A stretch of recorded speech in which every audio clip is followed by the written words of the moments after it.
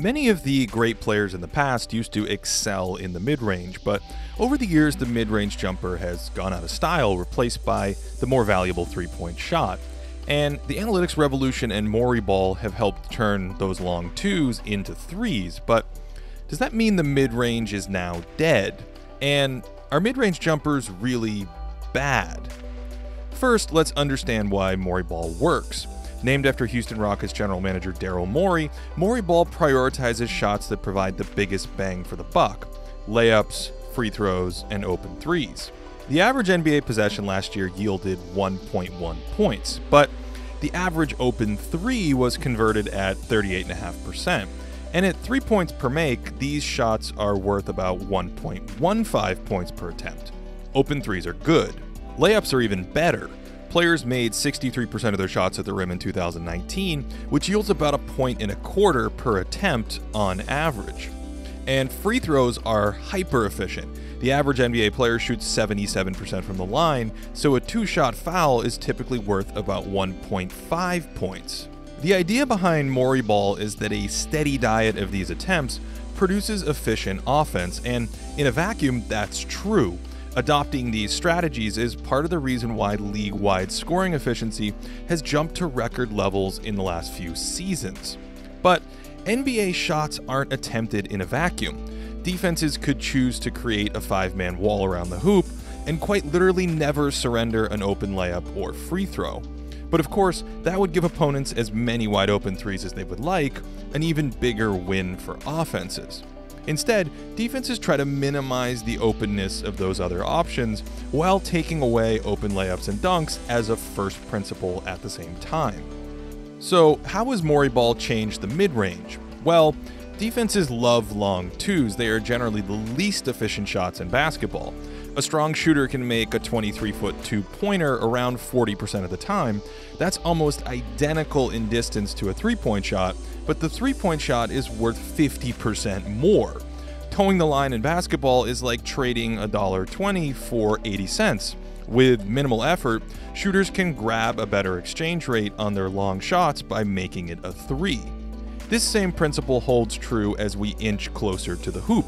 A 22 foot shot might be worth 70 cents on the dollar, but again, we can get the full exchange rate by stepping back behind the three point line with only a small amount of effort.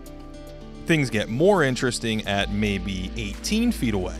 Percentages there are higher, let's say 45% for good shooters, but most players can't easily step behind the line from 18 feet away, so they're stuck with a shot that yields a meager 0.9 points. The offense's solution, naturally, is to get closer to the hoop, where the value of a two pointer produces greater returns. This realization has led to defensive adjustments, for instance, a rise in drop coverage, a pick and roll defense where teams can avoid giving up a wide open three, but then deprioritize long twos as this big man defender focuses on containing a dribble drive or a paint catch from the rolling big man. It's a win for the defense to induce most ball handlers to take a pull up 18 footer. And this is precisely where the mid range jumper still has value. With defenses keyed in on no layups and no threes, there's a soft spot in between. Coaches want opposing offenses to take these shots because they're often inefficient, but what if we run the same numbers against a good mid range shooter? According to Synergy, the average half court play, excluding second chance points, produces just under one point per possession this year, with the worst of those offenses clocking in at 0.92 points per play. Morey's Rockets, who took the fewest long twos in the league, finished second at 1.04 points per play.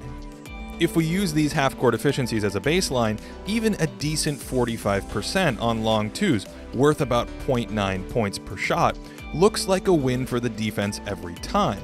So, we might expect a team like the Spurs, who took the most long twos in the league by far this year, to struggle on offense. But San Antonio actually finished with the third best half court offense in 2019, right behind the Rockets. And the Spurs weren't even super accurate on their long twos, shooting them a bit under our 45% baseline. So, what in the name of Dirk Nowitzki is going on here? Well, these percentages aren't actually produced in a vacuum. So, if left unchecked, a good mid range shooter will shoot over 45%. He might even shoot over 50%. And that can lead to high quality offense. And so, in turn, defenses allocate resources to slow down these mid range threats, and those resources come at the expense of guarding the hoop or the three point line. This defensive attention is what lowers the field goal percentage on mid range shots, but it also opens up drives or more three point shooting, as was the case with the Spurs this year. And this isn't just about help defenders. A player's own defender has to hug him closer or respect an up fake if an open mid range shot is a viable threat. That drop coverage and pick and roll isn't nearly as effective if the ball handler can easily walk into 50% foul line jumpers, especially against otherwise stingy defenses, much like Kawhi Leonard did this year against the 76ers. In the first four games of their playoff series, Leonard made 65% of his mid range shots against a soft drop coverage before Philly was forced to adjust. In the book Thinking Basketball, I explore why the best shooter shouldn't always shoot. Similarly, the best shot in a vacuum isn't always the best shot for a team based on the opposing defensive coverage. Exploiting a soft spot in the mid range can open up better opportunities, but only with skilled mid range shooters. The game's best mid range shooter this year, Kevin Durant, took 367 shots from around that foul line and elbow extended area, and he made 55% of them, good for 1.1 points per attempt, almost as valuable as the average open three pointer. A wide open mid range jumper is never going to reach the heights of an offense built around video game three point shooting or unstoppable forces at the rim. So, while layups, free throws, and open threes remain the game's best shots, there's not only direct value from making mid rangers, but perhaps even more importantly, there's meta value in pulling defenders away from the rim or the three point line and adding a third level for defenses to worry about. As for the Spurs, they added DeMar DeRozan, who took mid range shots more frequently than anyone else in the league, and yet the returning Spurs regulars all saw their three point shooting spike, improving corner three point percentage by 6 percentage points and above the break threes by 3 points. Whether some of that is hot shooting is slightly irrelevant. The point is that a mid range centric offense excelled in 2019 by providing a third level of attack that helps set up open shots or drives and free throws. There's no magic number of mid rangers to take, or three pointers for that matter, but the main takeaways are this. First, long twos will always have a terrible return on investment because of their proximity to the three point shot. They should really only be taken in desperation.